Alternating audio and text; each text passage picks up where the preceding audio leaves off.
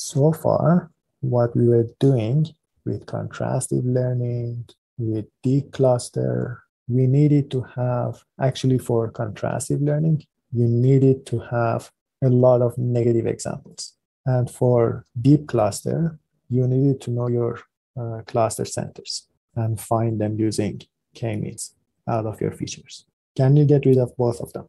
Do you really need negative examples? Are they necessary? Can you write a loss function that is gonna get rid of that? And this is really surprising that this happens, that Bootstrap, your own latent, is gonna help you get rid of the negative examples. And why would you want to get rid of them? Because they're costly. And if you remember to reduce the cost, you were keeping a memory or a memory bank of keys, which were coming out of your examples being pushed through your model and then caching those computations or caching those vectors in your memory. So we needed to work hard to make to make the algorithm computationally efficient. Let's see what is the idea of Bootstrap, your own latent.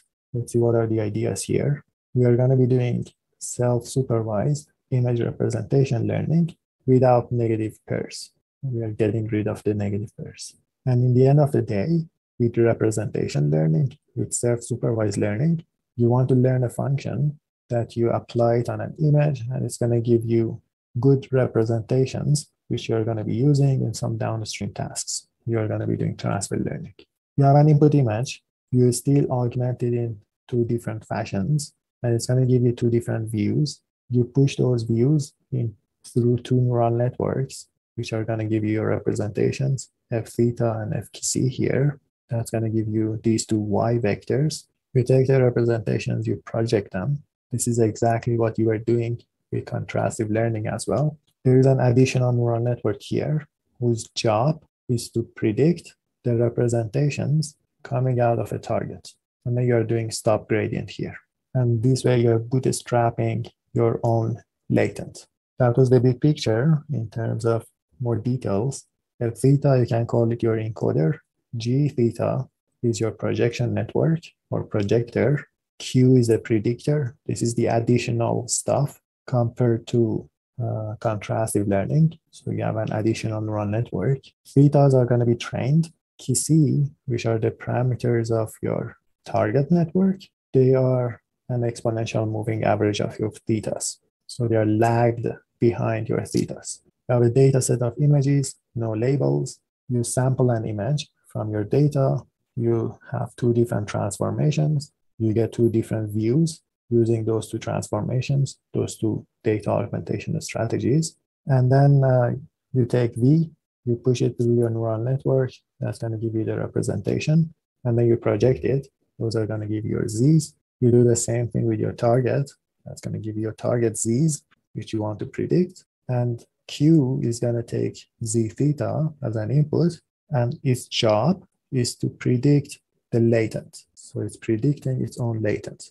You can think of it as autoencoder or encoder decoder architecture. This is the decoder, but you're doing it in the latent space rather than the image space.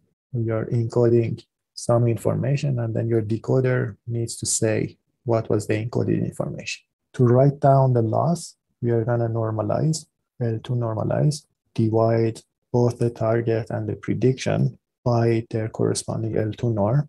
And this is a nice property that I want you guys to take home. This is a simple arithmetic, but it's really useful. If you want to minimize the L2 distance between two normalized vectors, if you want to minimize this, it is equivalent to maximizing the cosine similarity. This is true for normalized vectors. There is some constant here and there, which they don't really matter when it comes to optimization because you're looking for the arg max, not the maximum value of your function. You're looking for the maximum argument. And this is just because the norm of the first entry is one, the norm of the second entry is one, and that's going to give you this two here, and the other one is the dot product of these two. You are normalized. Q here is unnormalized, but actually, if you divide it by its norm, it's going to give you the normalized vector. So maximizing the cosine similarity is similar to minimizing the L2 distance. We are going to revisit this again. And then you symmetrize your loss function because now things are asymmetric. There's a predictor network on top of V. You could have your predictor network on top of V prime and then predict the latent from the other model. Okay, this is surprising why this works because when you want to learn, and even a human being, when they want to learn, if you show them only their success cases and they don't make any mistakes and they don't know that they are making mistakes, there is not going to be any learning happening. For contrastive learning, you are contrasting to some mistakes. And contrastive learning, the way that it is set up, is going to help you get out of uh, trivial solutions, like constant solutions. But when you're doing, you're predicting the latent, a constant is a solution, or there could be multiple other trivial solutions or collapsed solutions. For instance, one of them is outputting the same vector for all images. And if you're outputting the same vector for all images, you are not depending on the input image. It means that you are not featureizing the input image. These are really bad features. It is still a surprise. There is no, uh, not much justification for why this works, not much mathematical justification. There are some hypotheses in the paper that the combination of having this prediction network as well as having this slow moving average of the online parameters is helping you get out of uh, trivial solutions.